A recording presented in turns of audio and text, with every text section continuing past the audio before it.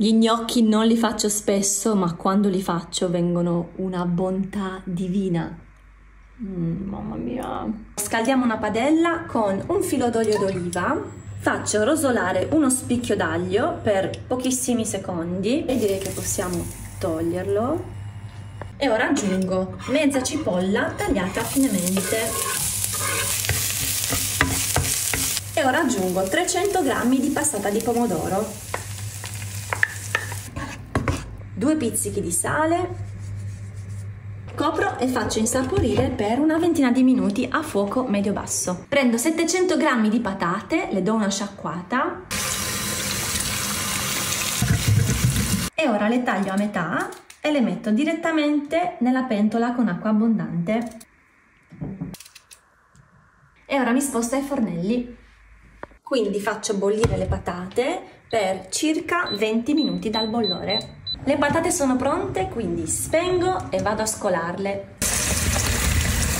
A questo punto prendo una ciotola, lo schiacciapatate e schiaccio le patate ancora calde.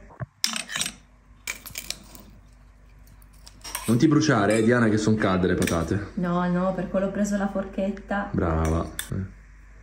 Però schiacciandole da calde si fa meno fatica.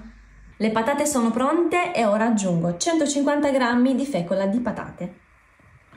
Che stai preparando oggi, Diana? Una ricetta da leccarsi i baffi. Mm. Aggiungo anche un pizzico di sale e mescoliamo bene il tutto.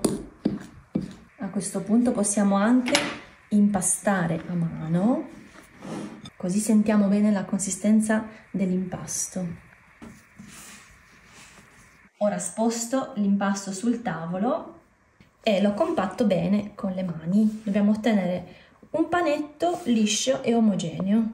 E ora taglio il panetto, lo divido in circa 5 parti. Sì, sono 5, ok. E ora ricaviamo un filoncino. Sai che forse ho capito che cosa stai preparando, Diana? Mm Sicuro? Stai preparando gli gnocchi! Sì, bravissimo! Hai visto? Se voi l'avevate capito, dai, scrivetemi qui sotto, vediamo un po'. E ora li tagliamo. Io manterrò questa dimensione. Se voi li volete più piccoli o più grandi, potete tranquillamente farli in quel modo. Gli diamo la tipica forma degli gnocchi. E ora siamo pronti per cuocere gli gnocchi. Quindi cuociamo gli gnocchi nell'acqua bollente salata per un minuto e mezzo circa. E quando salgono, guardate come sono saliti tutti e si sono fermati lì, sono pronti e noi li tuffiamo direttamente nel sugo.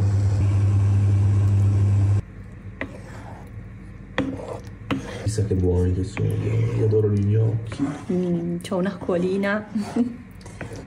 I nostri gnocchi sono pronti, ma prima di andare a condirli mettete un mi piace al nostro video come sempre, se vi piace questa ricetta condividetela anche mi raccomando, in questo modo non vi perdrete nessuna delle nostre ricette. Questo piatto è tutto mio. Il prossimo sarà mio però.